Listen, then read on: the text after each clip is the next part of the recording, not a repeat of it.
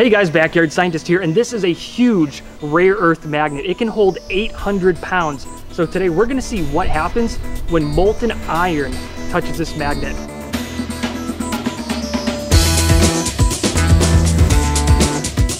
So this magnet is so strong, I can pick up these paper clips from like a, a whole foot away, right? What I think I'm gonna do first, so we don't destroy the magnet right away, is put it under a table. So Ouch, I forgot that was under there. So I've got the 800 pound magnet and I'm putting it right under the thermite. And I'm gonna put the board on top of it to protect it. So when the molten iron comes out, it should like maybe make cool patterns from the magnetic pull. What I'm trying to do is create a cool metal sculpture that looks like something you'd get while playing with ferrofluid. And if you don't know what ferrofluid is, it's a pretty cool toy. It's basically magnet shaving suspended in an oil. And when you put it next to a magnet, you get really cool shapes like this. So let's see if I can make one with molten iron.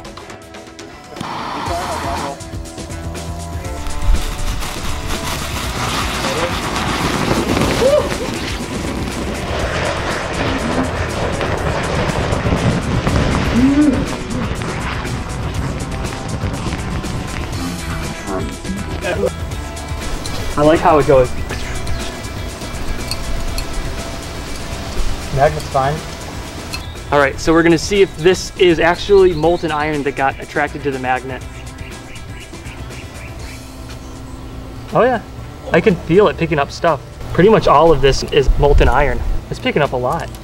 But then again, it's picking up a lot of stuff from the grass. I think I was wrong. I think this didn't work at all because all of most of the iron went onto the grass. So I actually picked up more iron from the grass around the board than on top of the board. So I think the magnet didn't really attract it. Wow, this is really on there.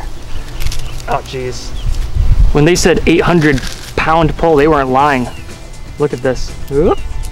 So what I've done here is I've stuck the magnet to a piece of metal in the ground so it's parallel to the thermite. So when it goes off, we'll see if the metal stream gets attracted to the magnet or not. And if it doesn't, it'll just fall straight to the ground.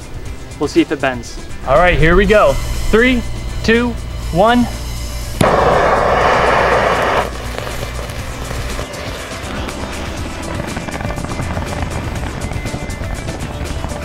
So that thermite turned the wooden bowl into a raging firestorm, but I'm beginning to think that there's no reaction between molten metal and magnets. In fact, I think that molten metal and magnets don't mix very well at all.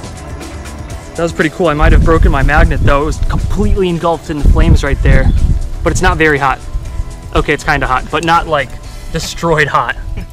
Once magnetic materials reach a certain temperature, they lose their magnetism. That's 600 for this magnet and 1400 degrees Fahrenheit for iron. This is called the Curie point. point, and below it the magnetic fields are nice and aligned, but above it, they're totally random. This is why we don't see any attraction between the molten iron and the thermite. The iron hasn't cooled enough to align into a magnetic field yet. Yeah, so this is the wood bowl that the thermite fell into. There's not much left, but it's got a pretty cool pattern in there. Now I just want to see how much iron is in here, so see if it grabs it. Oh yeah, there's a big chunk of it. Man, it's pinching me, ow! Oh, that really hurt. The magnet actually pulled that metal so hard, it cut me when it hit my finger. So these things are no joke. I think our last test is to do the thermite directly onto the magnet. Uh, I don't want to destroy my magnet. All right, guys, now it's the time you've been waiting for. I've got the magnet in the bowl. I've got the thermite above it. Let's see if anything crazy happens. Place your bets down below in the comment section. Tell me what you think's gonna happen. Three, two, one.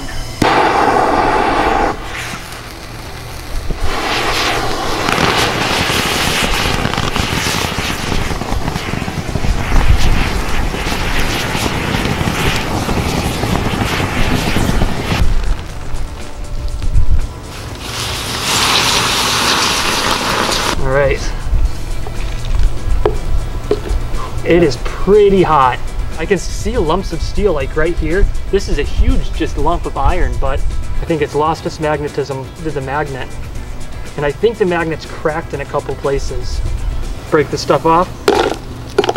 it's hot. Oh my gosh, it's super hot.